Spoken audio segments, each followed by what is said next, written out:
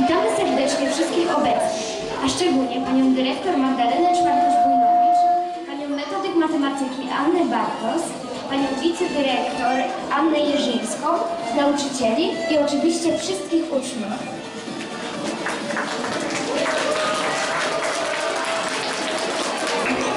Spotkaliśmy się dzisiaj na pokazie mody Martin Fashion, który jest elementem etchingowego projektu, w którym poza nami biorą udział uczniowie i nauczyciele z Armenii, Portugalii, Rumunii, Gruzji, Słowacji, Serbii i Turcji.